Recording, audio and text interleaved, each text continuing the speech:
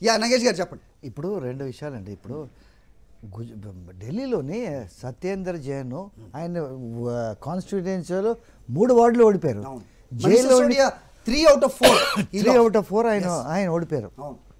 నిన్నటి ఎన్నికల్లో ప్రూవ్ ఏమైందంటే Aam Aadmi Party remains still municipal party ఎందుకు అనవలసి వస్తున్నది? ప- ప్రజలు పంజాబ్ అప్పు చెప్పారు Yeah. పంజాబ్ అప్పు చెప్తే ఏమైంది లా అండ్ ఆర్డర్ నాశనం అయిపోయింది. అగ్రికల్చర్ మేనేజ్ చేయలేకపోతున్నారు. క్రాస్ బార్డర్ టెర్రరిజం ఎక్కువైపోయింది. డ్రగ్ మేనేజ్ ఎక్కువైపోయింది. మర్డర్స్ ఎక్కువైపోయాయి. సో ఏమైపోయింది? వాళ్ళని full fledge state government manage చేయలేము అనేది ఒక పాయింట్ ప్రూవ్ అయిపోయింది. సో వాళ్ళు ఏంటంటే ఐడియాలజీ లేని పార్టీ స్కూల్స్ దవాఖానాలే నడపగలరు కానీ బియాండ్ దట్ నడపలేరు అనేది. డబ్బుకు వచ్చేసరికి ఇప్పుడు కాంగ్రెస్ వాళ్ళు ఇప్పుడు ఇందాకట్లా వీళ్ళు చెప్పిపోయారు అది రజనీ గారు చెప్పారు. మాకు డబ్బు లేదు మాకు ఇది లేదండి.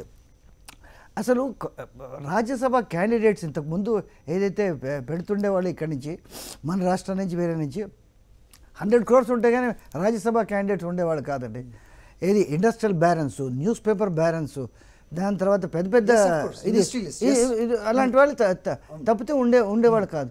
సో ఇప్పుడు వాళ్ళు వచ్చి మనకి మాకు పా దాని తర్వాత వీళ్ళకి ఏంటి ఫండింగ్ ఎక్కడి నుంచి వస్తుండేది? Bombay. Because Bombay was the financial capital of India Congress treasurers అందరూను Bombay నుంచి వస్తుండేది ఉండేవాళ్ళు. ఎందుకైతే అక్కడి నుంచి ఫిల్మ్ ఇండస్ట్రీ నుంచి డబ్బులు దాని తర్వాత రోజు film industry was use to be very big industrial money అక్కడి నుంచి వస్తుండేది Congress was never short of money ఇప్పుడు ఏంటంటే రాష్ట్రాలన్నీ పో లేనందువల్ల now they are feeling short కానీ Congress is not short of so what is the strategy for coming elections Dayakar garu so master electioneering ప్రస్తుతం మనం చూస్తున్నాం. యా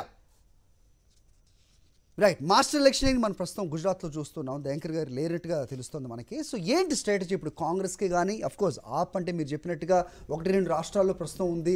అది ఎంత మేరకు విస్తరిస్తుంది అనేది ఒక క్వశ్చన్ మార్క్గా ప్రస్తుతం చూస్తున్నాం. So what is the next Congress ఒక నిమిషం. కాంగ్రెస్ కాంగ్రెస్. స్ట్రాటజీ ఏం చేశారంటే టూ థౌజండ్ సెవెంటీన్లో అశోక్ గెహ్లోట్కి గుజరాత్ వదిలేశారు. ఇది మీరు చూసుకోండి కాంగ్రెస్. సక్సెస్ అయిందా అంటే డెబ్బై ఏడు సీట్లు ఎంత వచ్చాయి. కానీ అప్పటికి ఏడెనిమిది శాతం డిఫరెన్స్ ఓట్ డిఫరెన్స్ ఉండేది. ఇది బీజేపీకి బీజేపీకి కాంగ్రెస్. వాళ్ళు మళ్ళా రిపీట్ చేశారు. గెహ్లోట్ని ఈసారి ప్ర- ప్ర- ప్రస్తుతం మారిపోయింది. వాళ్ళు రియలైజ్ కాంది ఏమిటంటే what is essentially bipolar contest has become a triangular contest triangular కంటెస్ట్లో కూడా పాత స్ట్రాటజీలు వేస్తే ఎట్లాగే ఎట్లాగవుతుంది? సో ఇక్కడి నుంచి వీళ్ళ దగ్గర పార్టీ నుంచి ఎన్మాస్ పోయినప్పుడు హార్దిక్ పటేల్ కేసు తీసుకుందాం. హార్దిక్ పటేల్ ఏమైందంటే ఆయన కాంగ్రెస్ తోటే ఉన్నాడు. రాహుల్ గాంధీ అక్కడికి వచ్చి స్టేజ్ దగ్గరికి వెళితే Rahul Gandhi did not meet him and went away Alpesh Thakor who is leader of Thakor a they went away these are all youth leaders so ఏమైంది? మొత్తం యూత్ అంతా migrated away from Congress to BJP. మూడోది మిగిలింది జిగ్నేష్ జిగ్నేష్ మేవానీ. వీళ్ళు Thakors and OBCs Thakors వీళ్ళంతాను. The constitute thirty five to thirty seven percent of the total voters Patels about seventeen to nineteen percent వీళ్ళు ఇద్దరు కలిపితే fifty fifty two percent వీళ్ళందరూ పోతే అందరూ బీజేపీకి ఓట్ చేస్తారని కాదు. దీంట్లో సగం మంది ఓట్ చేసినా కూడా కాంగ్రెస్. కాంగ్రెస్ ఈ రోజు యాభై మూడు శాతానికి పైగా ఏదైతే చూపిస్తుందో the result of the same thing exit polls ఏం చూపించేటండి ఎస్సీ ఓట్ కూడా Congress which is the traditional vote since nineteen fifty two till today SC vote కూడా కాంగ్రెస్కి రావటం లేదనేది అదేం ప్లానింగ్ అది? ఎస్సీ ఓట్ మీ కోర్ ఓట్ బేస్ కూడా మీరు రిటైన్ చేయలే చేయలేకపోయారు. అందువల్ల ఈ రోజు మీకు twenty seven percent vote base వచ్చేదంటే ఉన్న ఓట్లు కాస్త పోయి మిగతామేమో రైట్ రైట్ కాంగ్రెస్ లాస్ని మీరు బెనిఫిట్గా చేసుకోవడంలో కూడా పూర్తిగా విఫలమయ్యారా అంటే ఏం చెప్తారు ఇందిరా గారు ఇప్పుడు ఇందాక నాగేష్ సార్ ఒక రెండు మాటలు చెప్పారు. వాళ్ళకి విద్యా వైద్యానికి తప్ప వేరే ఏమి చేయలేరు అని విధంగా మాట్లాడినారు. గుజరాత్కి సంబంధించినటువంటి రైతులకి సంబంధించి తర్వాత అక్కడ బార్డర్లో జరిగేటువంటి ఇష్యూస్ పట్ల కూడా తను ప్రస్తావించారు. సో కంపారిటివ్లీ గత ప్రభుత్వాల పాలన కన్నా కూడా గుజరాత్లో ఇవాళ ఆప్ గవర్నమెంట్ వచ్చిన తర్వాత చాలా క్రైమ్ తగ్గింది. డ్రగ్. తగ్గింది. తర్వాత రైతులకి ఇవ్వాల్సినటువంటి బెనిఫిట్ వాళ్ళకి నష్ట వాళ్ళకి ఇవ్వాల్సిన నష్టపరిహారం అయి ఉండొచ్చు. వాళ్ళకి చేయాల్సినటువంటి గురించి మర్చిపోతున్నారు అనేది నగేష్ గారి కామెంట్.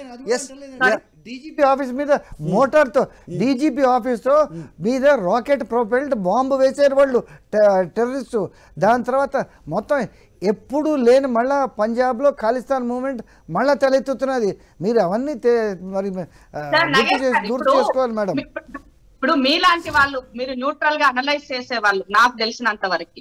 బట్ ఇవాళ ఇవాళ మీ అనలైజ్ నేను వింటుంటే నాకు కొంచెం బాధగానే ఉంది. ఎందుకనంటే ఒక మంచి చేసినప్పుడు మీలాంటి వాళ్ళే ఆ గొంతుకగా వినిపించాల్సిన అవసరం ఉంది. ఒక విద్య ఒక విద్య మంచిగా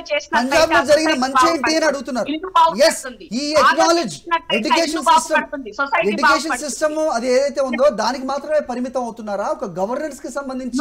పూర్తిగా రాష్ట్రం అప్పగిస్తే దాంట్లో విఫలం అవుతున్నారా అనేది ఆయన క్వశ్చన్ అండ్ మీరు ఇంకోటి ప్రామిస్ చేశారండి. నా- పంజాబ్లో మీరు వస్తే ఢిల్లీలో ఎన్వైరన్మెంట్ ఇంప్రూవ్ అవుతుందన్నారు. హండ్రెడ్ పర్సెంట్ సక్సెస్ఫుల్ చేసి దేశంలో ప్రపంచంలోనే ప్రామాణికంగా నిలబడ్డారు.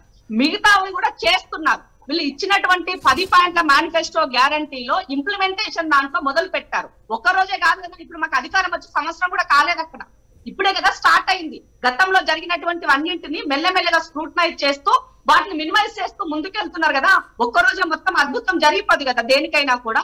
ఇది ఒకటి. రెండో విషయం ఏంటి అని అంటే మీరు ఇంతకు ముందు చెప్పినటువంటి దాంట్లో ఆకుని ఎక్కడ తీసుకున్నా మీరు ఎక్కడికి వెళ్ళినా కూడా ఇక్కడ ఈరోజు. గుజరాత్ హిమాచల్ ప్రదేశ్ ఎన్నికలకు సంబంధించిన అంశం గురించి మనం మాట్లాడుకుంటున్నాం.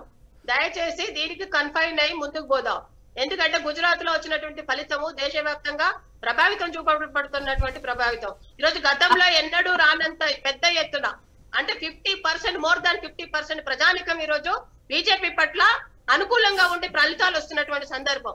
ఇదే ఫలితాలు రేపు దేశవ్యాప్తంగా కూడా రాబోతాయి. ఇప్పుడు ఆపు గురించి మాట్లాడుకోవడం ఆపు ఇది చేసిందని చెప్పుకోవడం కంటే ఈ రోజు దేశవ్యాప్తంగా భారతీయ జనతా పార్టీని పెద్ద ఎత్తున ప్రజలందరూ కూడా గారు?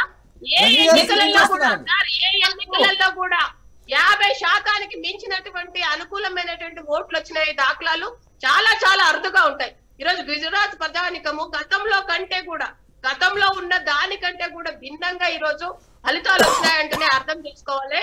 భారతీయ జనతా పార్టీ పట్ల ఈ రోజు ప్రజానికము ఒక్కటేసారి నేను చెప్పగలుగుతాను. భారతీయ జనతా పార్టీని ఎందుకు విశ్వసిస్తున్నారంటే అవినీతి రహిత ప్రభుత్వం ఏర్పడే దిశగా. దేశవ్యాప్తంగా ఉన్నటువంటి ప్రజలు. అదే ఈ రోజు ముందుకు పోతున్నాయి. రాబోయే రోజులలో కూడా ఎక్కడైతే అవినీతి జరుగుతుందో ఏ ఏ ఇప్పుడు ఆపే గాని టిఆర్ఎస్ఏ గాని ఎక్కడైనా సరే అవినీతి మూలాలు ఉన్న దగ్గర పెకిలించి వేయడంలో కేంద్ర ప్రభుత్వం తప్పకుండా తన వంతు కర్తవ్యం తీసుకొని ముందుకు పోతుంది.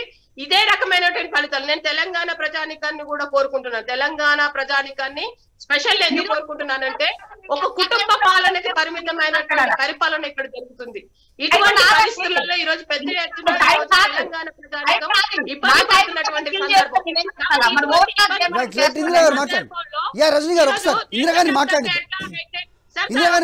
వస్తాను అయితే దేశవ్యాప్తంగా ఏ రకంగా బ్రేకింగ్ న్యూస్ చూస్తున్నాం.